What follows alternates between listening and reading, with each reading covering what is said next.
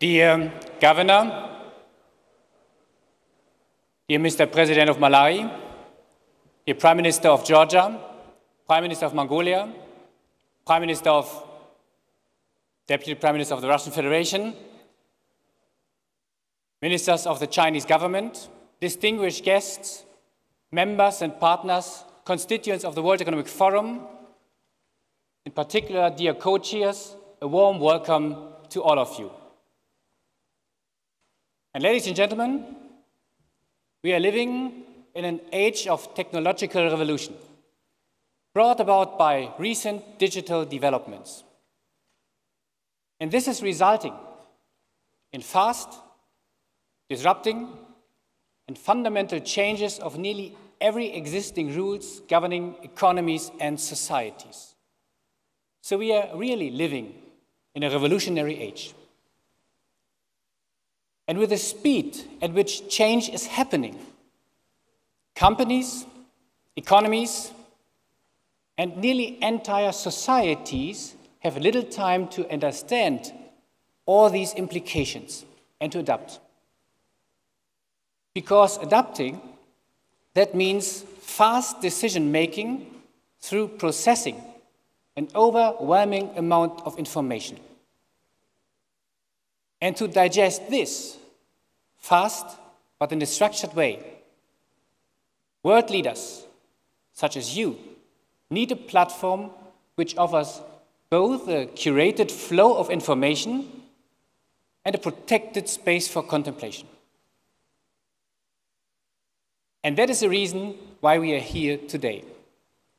And we, that means 1,700 participants from 90 countries. And we have many different backgrounds. But we have at least two things together. First, we are always optimistic. Second, we are passionate by technology, by socioeconomic progress. And therefore, we are looking to develop more contextual intelligence about how to solve global pressing challenges through innovation. And along with our members and partners of the World Economic Forum, the community of new champions is, as every year, the core of this meeting. Global growth companies, young global leaders, global shapers, tech pioneers, social entrepreneurs, and young scientists.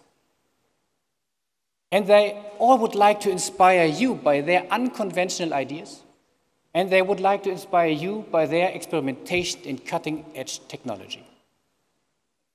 So we invite you to take a journey about interaction, exploration, so that at the end you can broaden your horizon and can go beyond your limit of the imagination. So finally, Together, we can create new models of public-private cooperation in order to address global challenge and in order to solve most pressing challenges together with common actions. So again, that is the reason why we are here today. So I'm happy to announce that the ninth annual meeting of New Champion is now opened. Welcome to Dalian.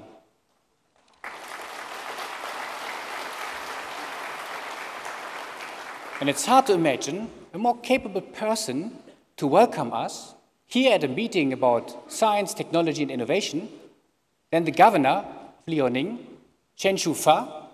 He is aerospace engineer and at the same time innovator at heart. So, dear governor, the floor is yours.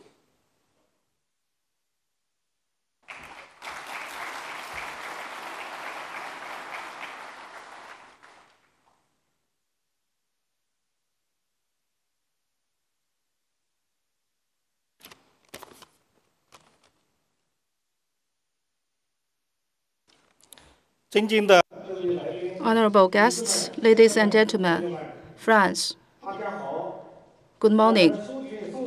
In this golden spring, with a lot of fruits and flowers. We gather together in this beautiful coastal city of Dalian to welcome the opening of the 2015 conference of World Economic Forum. And we have uh, participants from more than 90 countries and regions around the world, in total 1,700 leaders. We gathered together entrusted by Secretary General Mr. Li on behalf of uh, the Liaoning government and also 43 million of uh, people in Liaoning to give a warm welcome to all the guests here.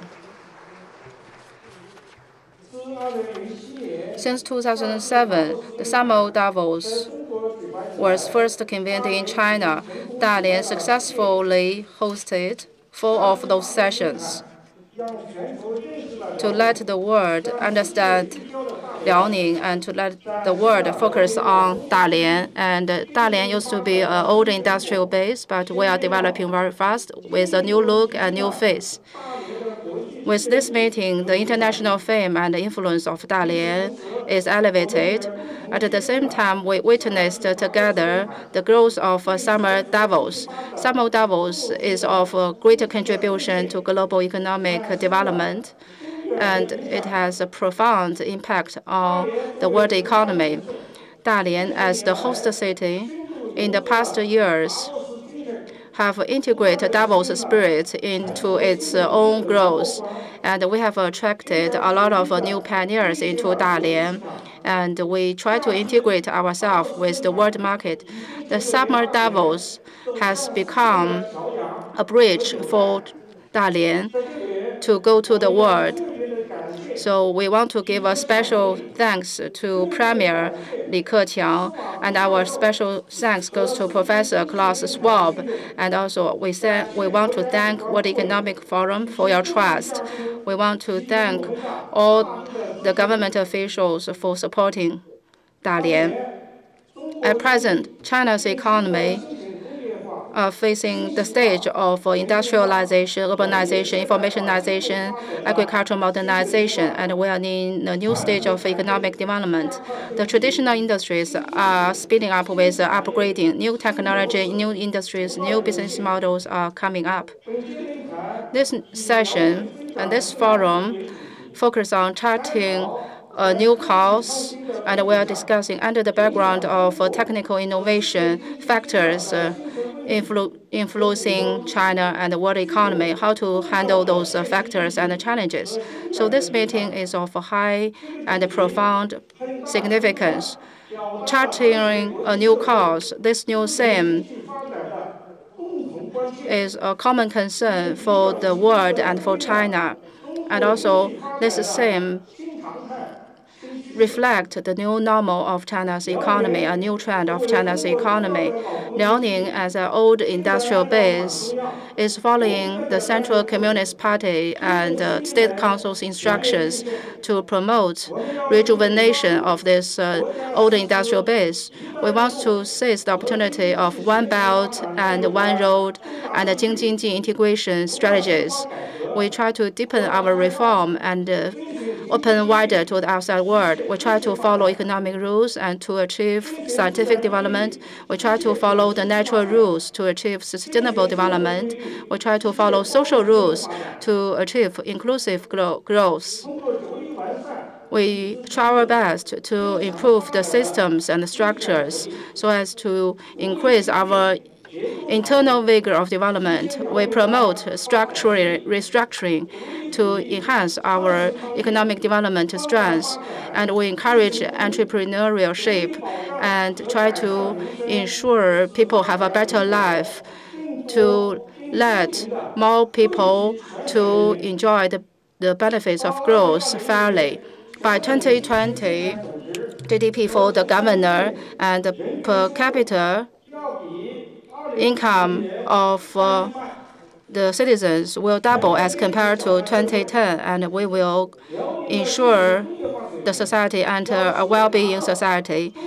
And the industrialization stage shall arrive at the first stage goals of uh, manufacturing in China 2025. We sincerely welcome all the new pioneers around the world to participate the rejuvenization of Liaoning's old industrial base. We, we welcome you to invest in the high-tech industry and the new strategic industries in Liaoning and develop modern service and modern agricultural industry in Liaoning. Dear guests, ladies and gentlemen, and we will try to honor your trust of uh, WEF and honor the support of uh, all the friends, and we will try to stick to the concept of uh, safe sustainability, green and environmental friendly to provide uh, better services to WEF every year. And we try to turn this event into a successful event. Lastly, I sincerely wish this event a full success.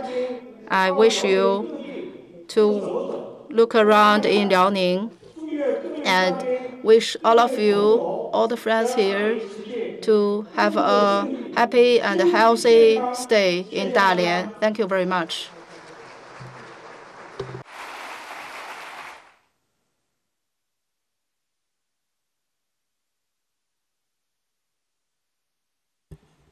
Thank you, Governor.